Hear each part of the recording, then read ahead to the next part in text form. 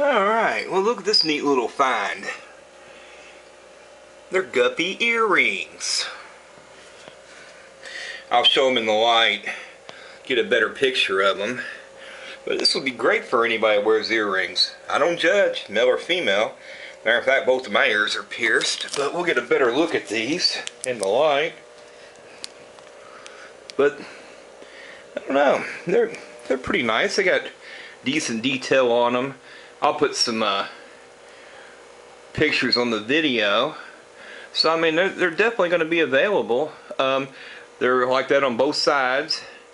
And when you put the earrings in, they basically face sideways on you like the fish are swimming forward.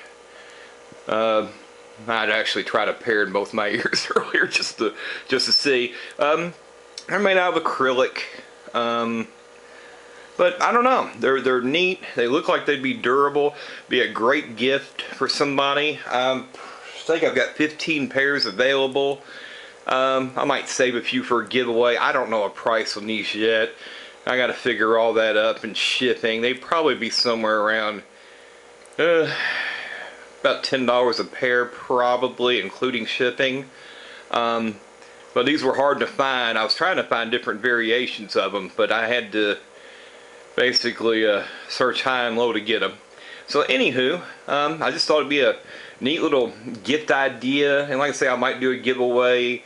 Uh, maybe with my upcoming giveaway, I'll include a pair if somebody asks. I, I don't know. We'll figure it out. But I think they're cute.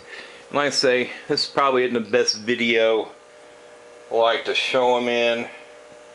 But you'll see better by the pictures that are, that are uh, uh, going to follow. Alright, thanks a lot. Later.